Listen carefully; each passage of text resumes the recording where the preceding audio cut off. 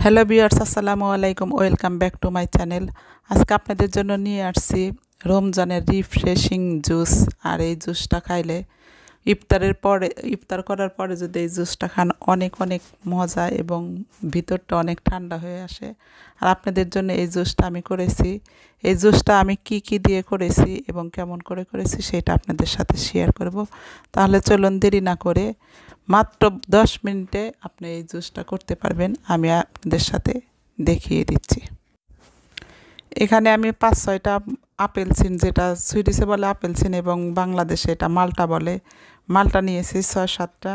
এগুলাকে ভালো করে আমি ধুয়ে, সিলে নিয়েছি। আর এখানে তিনটা গাজর নিয়েছি এবং গাজরগুলাকে আমি গ্রেড করে নিব প্রথমে। প্রথমে আমি এগুলাকে সিলিয়ে তারপরে আমি এগুলাকে গ্রেড করে নিচ্ছি।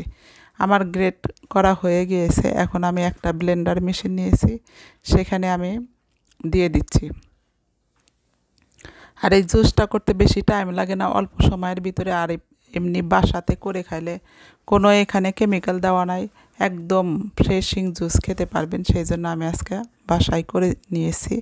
আপনারা এরকম চাইলে বাসায় করে নিতে পারবেন। আমার গাজরটা ব্লেন্ডার করা হয়ে গিয়েছে, এখন আমি একটা চালনির উপরে এটাকে ঢেলে রেখে দিয়েছি। সেম এভাবে আমি মালটাগুলো করে নিচ্ছি।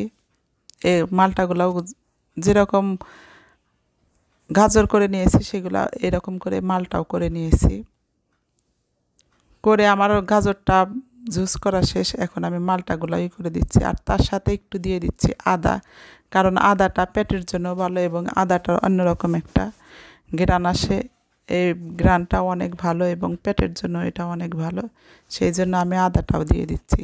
দিয়ে একসাথে আমি মিক্সার করে নিয়েছি। এখন আমার জুসটা করা হয়ে গিয়েছে। এখন আমি গ্লাস নিয়ে এখানে ঢেলে দিচ্ছি। আর এটা খেতে অনেক অনেক টেস্টি আর এটা করে আমি একটু ফ্রিজে রেখে তারপরে আমি করে নিচ্ছি। তারপরে আমি এটা ড্রিঙ্ক করব। হয়ে গেল আমার অনেক মজাদার একটা জুস। আর এটা করতে আমি কোনো চিনি ইউজ করি নাই। আপনারা চাইলে এরকম বাসায় করে নিতে পারেন। আর আমার ভিডিওটা ভালো লাগলে অবশ্যই আমাকে like share comment and subscribe করতে ভুলবেন না। আমাকে একজন কমেন্ট করে জানিয়েছে যে আমার এরকম একটা জুস করতে পারবেন নাকি? সেই জন্য আমি আজকে তার জন্য করে দেখাইলাম। ভালো লাগলে অবশ্যই আমাকে কমেন্ট করে জানাবেন। সবাই ভালো থাকবেন। খোদা হাফেজ। বাই